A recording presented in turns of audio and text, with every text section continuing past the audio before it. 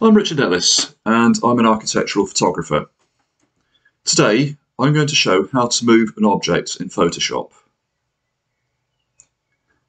Firstly, it's always best to work from raw files. So let's open this one from a recent product shoot of radiator guards. Here we have a photo of a radiator against a nice background, but it's on a slope so it's not going to look good in the customer's brochure or website. The first thing we're going to do is correct the lens geometry in the optics menu. For most lenses, Photoshop does this at a click.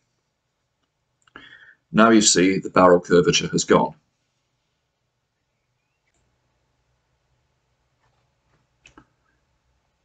Next, we're going to the geometry menu. We'll get rid of the converging verticals in the background wall to start with. These can be refined a bit more later.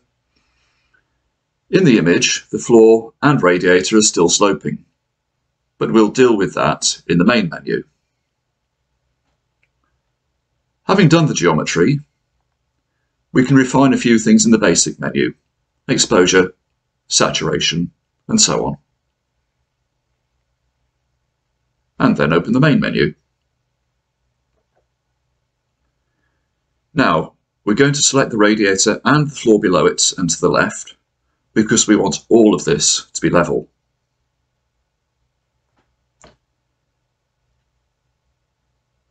Because the lines are straight, it's best to select all of this with the polygonal lasso tool.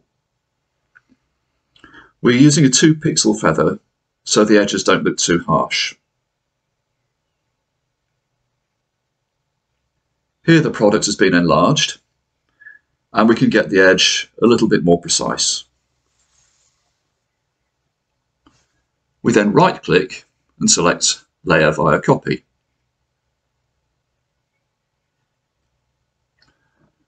If we hide the background, layer 0, we can check the layer is what we want. Next, we go to the Edit menu and transform the selected layer by a process of rotate, scale, and skew until it's in the right position, that is, covering the whole product on layer 0.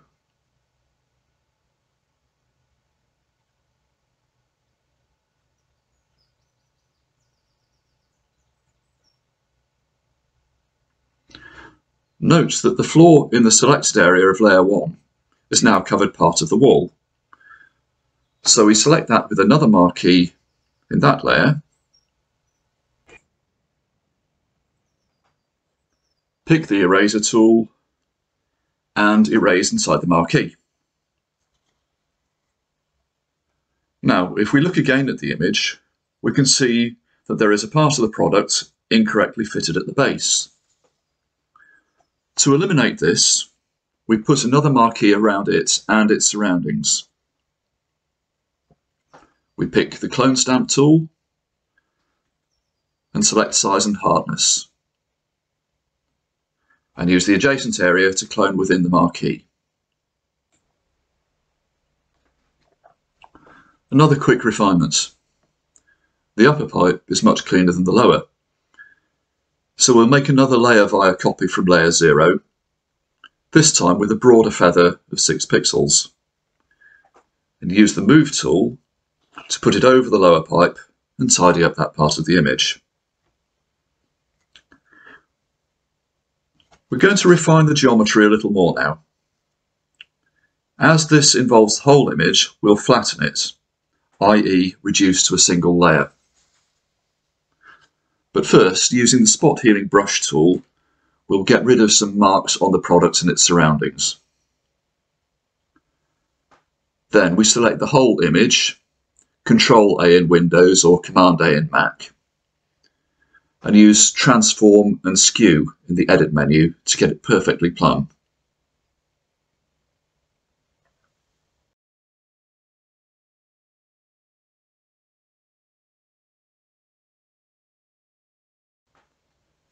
To complete the processing, we use the crop tool and move the marquee to where we want it, and affirm the crop.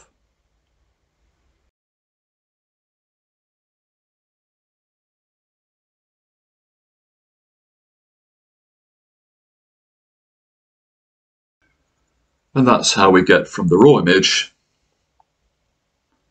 to this completed one.